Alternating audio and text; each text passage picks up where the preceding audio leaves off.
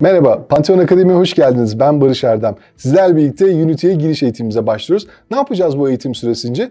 Unity'yi tanıyacağız. Unity'de codeless bir oyun yapacağız. Böylece Unity'nin arayüzünü tanıyacağız ve bir yandan da bir oyun geliştireceğiz. Proje içerisinde sizlerle paylaşacağımız dosyalar olacak. Bunu açıklama kısmından indirebilirsiniz. Üçüncü videodan itibaren bu dosyaları import ederek siz de takip edebilirsiniz istediğiniz bölümden. Ya da baştan sona ilk projeyle beraber sona kadar devam edebileceğiniz bir süreç sizi bekliyor. Kurulum aşamalarına geçmek için masa üstüne dönelim. Tarayıcımızı çalıştıralım ve arama motoruna Unity yazıp arayalım. Unity.com açacağımız sayfa Get Started butonlarından birine tıkladık. Burada da ücretsiz olan versiyon bizim için uygun. Yine Get Started diyoruz. Download for Windows. Başka versiyonlar için, başka işletim sistemleri için buradan Download Other versiyonsu da tıklayabilirsiniz. Dosyamız indi. Hemen kurulumu başlatalım. Unity App kurulumumuz tamamlandı. Masa üstünden Unity App'ı çalıştıralım. Bize bir versiyon öneriyor.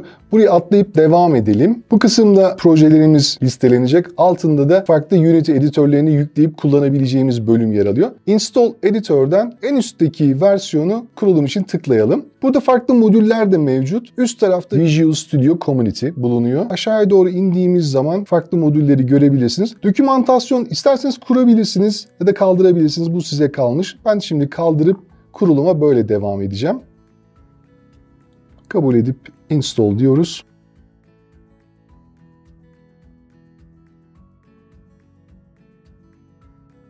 Kurulumumuz tamamlandı. Buradan kapatabiliriz. Şu anda yüklü olan bir Unity versiyonumuz bulunuyor. Aynı zamanda masa üstünde de kısa yolunu görebilirsiniz. Unity'yi kurarken bir kod editörü de kurduk. Visual Studio. O da bizim için hazır durumda. Projects kısmında da beraber çalışacağımız projeye yer alıyor. Projeyi incelemeden önce videoyu beğendiyseniz beğenebilir, kanala abone değilseniz abone olabilir. Yeni videolardan haberdar olmak için zile tıklayıp bildirimleri açabilirsiniz. Soru ve görüşlerinizi de yorumlara bırakabilirsiniz. Şimdi örnek projemizi açalım. Projemiz açıldı. Hemen ortada Scene ve Game tablarını görüyoruz. Burada Scene bölümünde oyunu çalıştığımız bütün objelerin göründüğü bölüm. Game kısmında ise oyunu oynarken oyuncunun göreceği kısım. Hızlıca çalıştıralım isterseniz üstteki play butonuna basarak Unity'nin içerisinde, editör içerisinde oyunu çalıştırabiliyoruz. Çalıştırdık ve topumuz aşağıya doğru düştü. Butonlar yardımıyla sola ve sağ labirenti hareket ettirebiliyoruz. Topumuzu hedefe doğru götürmeye çalışacağız.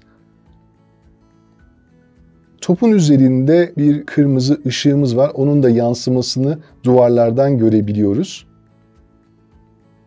Bütün bu süreçte bu oyunu geliştirirken hiç kod kullanmayacağız ve bu oyunu birlikte hazırlayacağız. Evet, topumuzu hedefimize ulaştırdık. Bundan sonraki bölümde yeni bir proje oluşturup artık oyunumuzu yapmaya başlayacağız adım adım. Bir sonraki bölümde görüşmek üzere.